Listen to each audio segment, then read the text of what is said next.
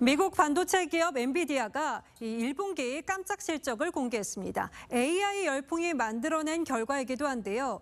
엔비디아 CEO는 누구든지 컴퓨터에 말 한마디만 하면 이루어지는 시대가 될 거라면서 AI의 무궁무진한 발전을 예측했습니다.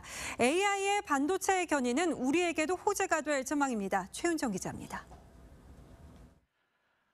엔비디아의 최고 경영자 젠슨 황이 말을 합니다. Sing, sing it with me. I really like NVIDIA. 이 말을 노래로 만들어 달라고 하자 AI 프로그램이 즉석에서 바로 리듬을 넣어 노래로 만듭니다.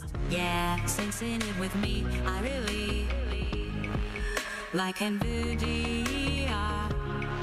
엔비디아는 AI가 산업 전반에 영향을 미칠 것이라며 디지털 격차를 종식시킬 AI 혁명이 올 것이라고 선언했습니다. Everyone is a programmer now. You just have to say something to the computer. 실제 AI 바람을 타고 그래픽 처리 장치, GPU 시장 점유율이 90%에 이르는 엔비디아의 성장세가 폭발적입니다. AI 기술 확산에 조만간 GPU 품귀 현상이 나타날 것이라는 예측까지 나옵니다. GPUs are, um, at this point, considerably harder to get than drugs. AI 열풍은 반도체 업계에도 호재로 작용했습니다. 챗 GPT 등 차세대 AI 시스템의 생명줄인 반도체 확보 경쟁이 치열해진 겁니다.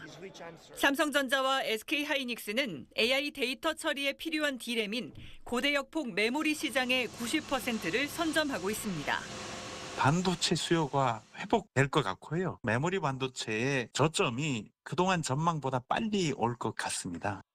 전 세계적인 AI 열풍. 그동안 긴 불황의 터널을 걸었던 반도체 업계에 훈풍을 불어넣고 있습니다. TV조선 최윤정입니다.